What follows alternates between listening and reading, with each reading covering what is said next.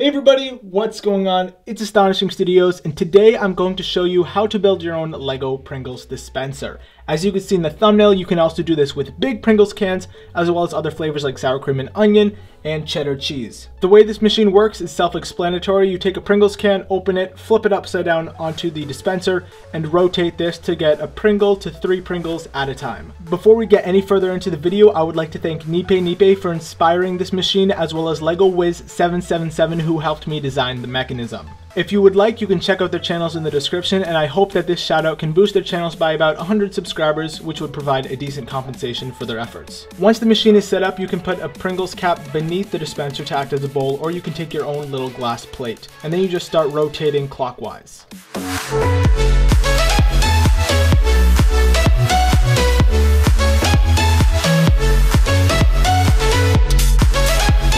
Now let's go on to show you the sour cream and onion and cheddar cheese machines in action.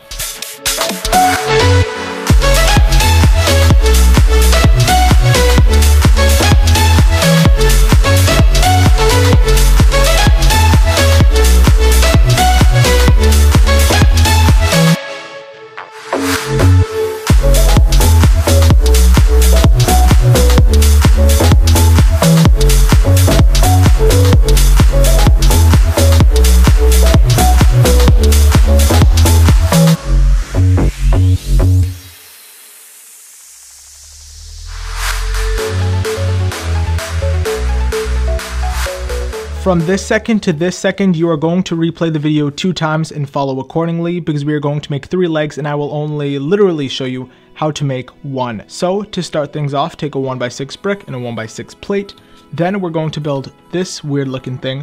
All it is is a 1x8 or whatever makes that up, a 1x7 plate or whatever makes that up, and then a 1x6 tile.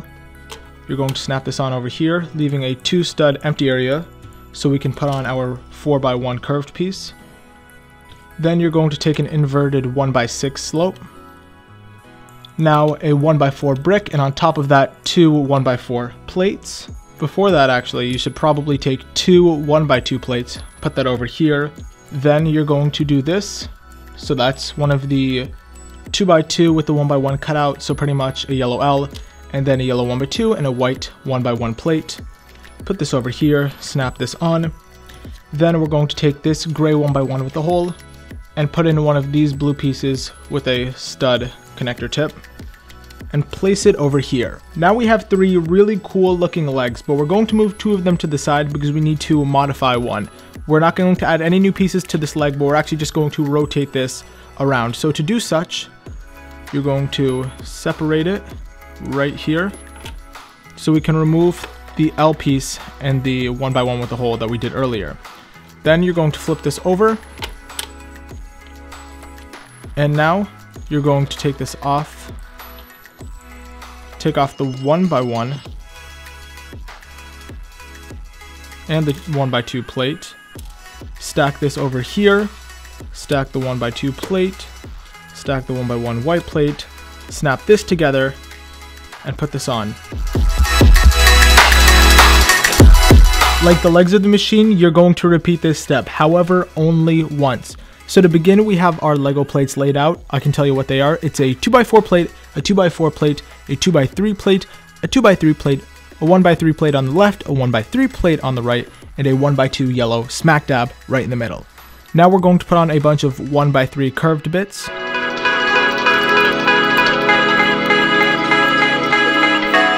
Now at the bottom we're going to put on two on each side of these 1x3 white curved. And color corresponding 4x1 curved pieces.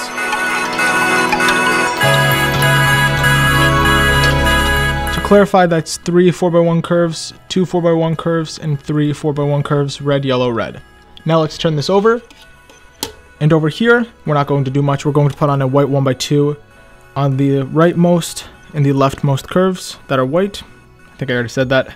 Uh, then we're going to take two of these 1x2 plates, and as you can see, you're going to put one of these inverted 1x2 ramps on top, and you're going to do the same on the opposite side. And remember, you're going to repeat this portion of the video once more. first we're going to make a 1 by 10 out of two 1 by 4s and a central 1 by 2 On top of that we have two 1 by 4s to make up a 1 by 8 and then a 1 by 4 brick on top.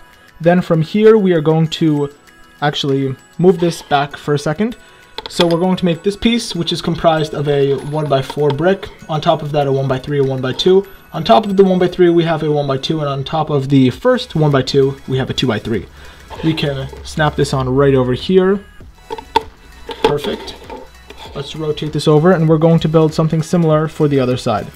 So to make this piece, we're going to take a 1x4, a 1x3, a 1x2, another 1x3, 1x2, it's like this layer but offset by 1, and then a 1x4 brick on top. Snap that on the other side. You can look at it like this. From here, we're going to take a 1x4 brick and a 1x3 brick. On the bottom of that, we're going to put on a 1x3 brick, put that on the left side, and we're going to use the exact same pieces, that is the 1x3, the 1x3, and the 1x4, and put it on the right side.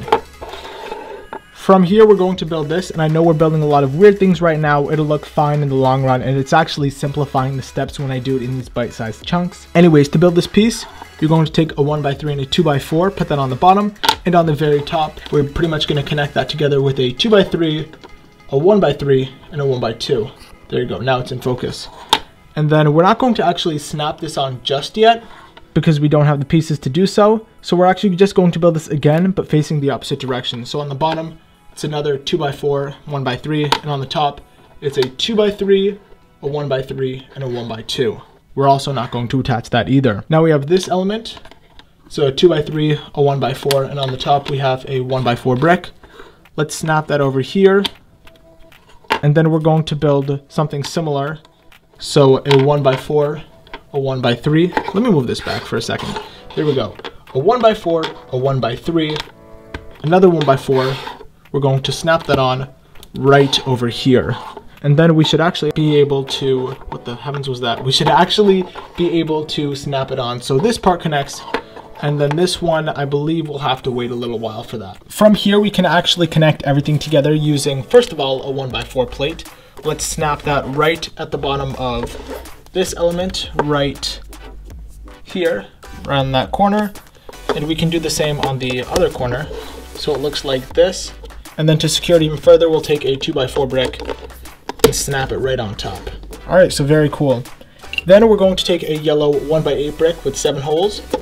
And then we're going to take a 1x6 plate and make sure the studs fit into those holes so we have the one on the rightmost side with nothing. Then you're going to put that on so we have a one stud space in the front and then it should line up with this two stud back wall. Cool. So now we are going to take a 1x4, a 2x4, and a 1x3, and we're going to put that over here.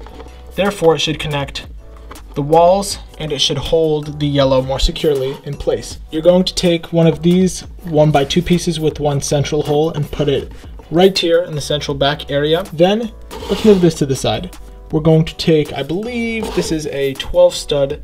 Yes, this is a 12 stud long axle. So I think it's the biggest one you can get without getting a floppy axle. And we are going to put on three of these wheels. So the first one, voila. The second one, voila. And the third one, still a piece of cake. Let's push this down so we have it where we want it with about a three stud space. Now take this piece, which you put on the end of axles, cut it right about here. And then we're going to take another 1x2 with one central hole, place it over here. Let's pull this back and wiggle it in. Now that we have this in, let's build the pieces that go right around here. So it starts off with a 1x2 and two 1 or two 2 by 3s.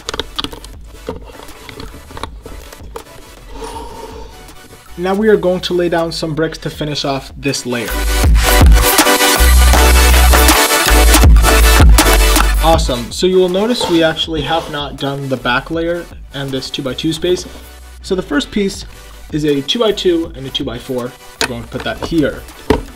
Here's a 2x4 and on top of that a 2x2 and a 2x3. So we have a 2x2 space here and a 1 by or just a 1 by 2 offset We're going to put that down here. Then two 2x4s offset by one stud. From here, we'll take a 1x4 and put on top of that a 1x3 and stack that over here.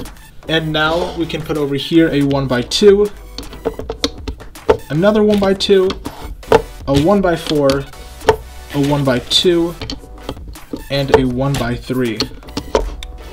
Now we can actually flip this to the front and we can do more of those chunk building steps. Here we're going to take two 1x4s, a 1x2, and a third 1x4. Put this right here.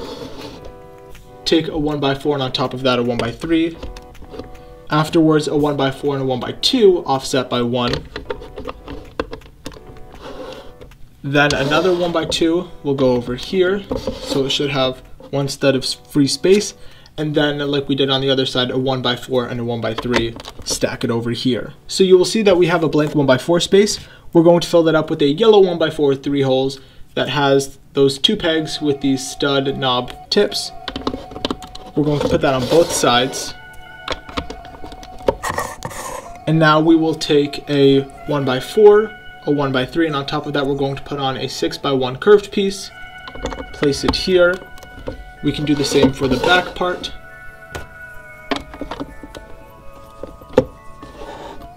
And then we're going to build two of this part, which is a 1 by 4 or no, I lied, a 1 by 3 and then a 4 by 1 curve with a 1 by 2 and a 1 by 1 plate to fill up that cutout space. See, here's my second one, and you'll never guess where we'll put them. We'll put the first one on the back and the first one on the front. Remember this complicated looking thing that we made earlier? We're actually going to put it to use. We're going to slap it on to these blue parts so it clicks into place.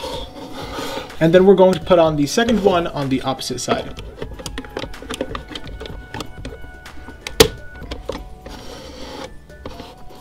So you'll need double-sided tape, scissors, and these stickers or photos. You can find them in the link of the description of this video called something like decorative decals or stickers or something like that. I put mine on normal printer paper. What you're going to do is cut these out. You're going to cut, first of all, this one out and the white oval, so you will leave the green as excess waste.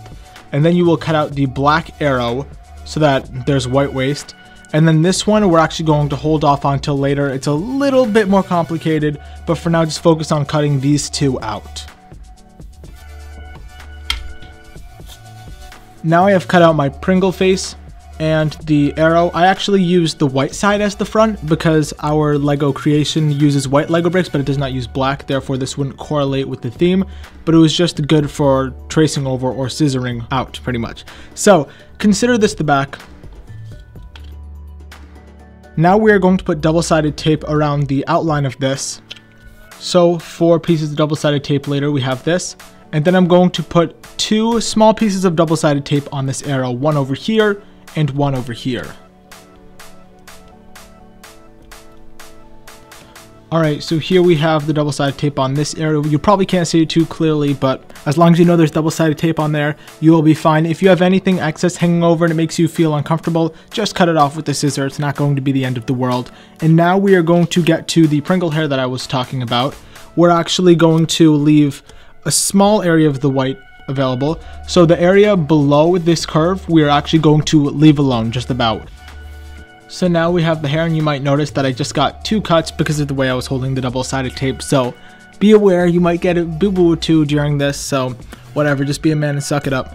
Um, and then what I would actually like to do is cut off a little bit of the white because I think that's too much for what we need. So I'll cut it off so you can see what I mean. This looks like the ideal amount of white space we want at the bottom. Here we have a 1x6 brick and on top of that are two 1x2 bricks.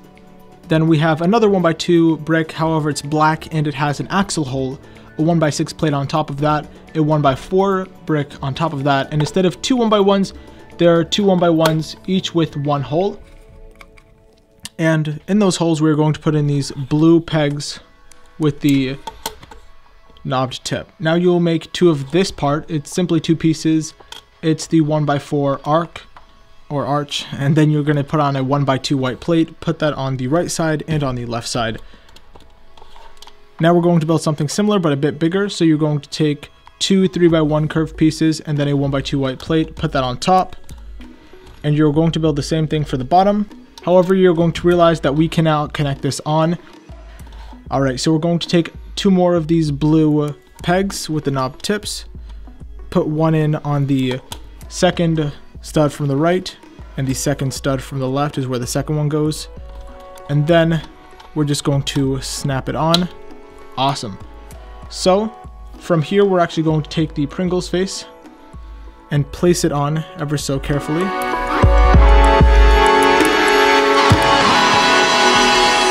And then on the back of this, we are going to take our hair, make sure to put on one piece of double-sided tape. And when you put it on the back, make sure that from the front, it lines up so you don't see any of that extra white space. We can kind of see some right now. So let me carefully move it around. Awesome, so that is our Pringle face, which we will turn, and you have to make sure that it's not covering this piece. So we're going to put this on to correspond with this axle.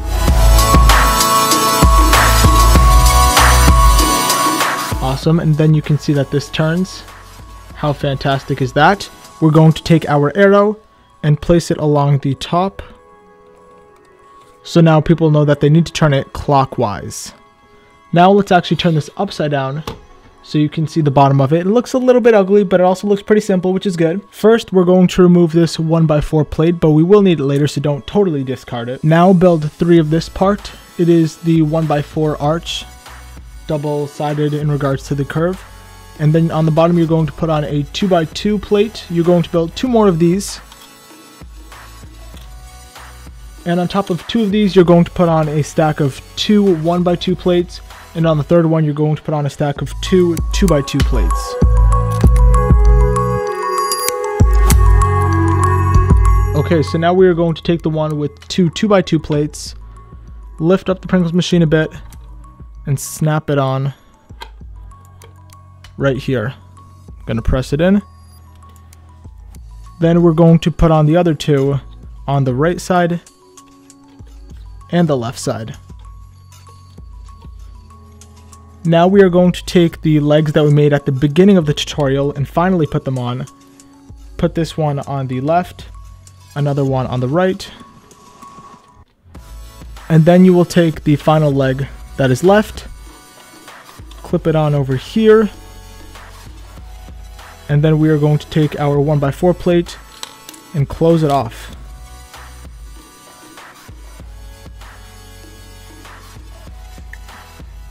Now we only have four pieces left to put on and they are all the same.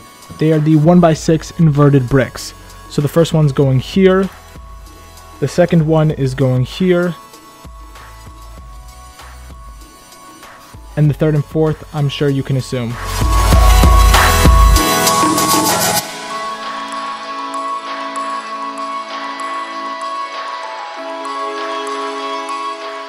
bring your Pringles can into play. So you're going to take off the lid. This can serve as your bowl that goes beneath the Pringles dispenser. And what I would suggest is taking a handful of Pringles, such as this, and situating it so that the curve right here is sitting perfectly on the wheel. Now make sure that the rest of your Pringles are lined up when you put the container on. Or what you can do, which actually seems like the easier option right now, since we have a small can, is to put the rest of the Pringles on top. Make sure that they are neatly stacked. You can see that they're almost going out of shot here. And take your can and put it upside down, right on top.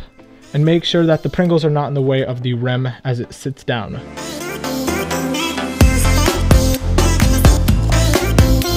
And make sure the Pringles can faces frontwards.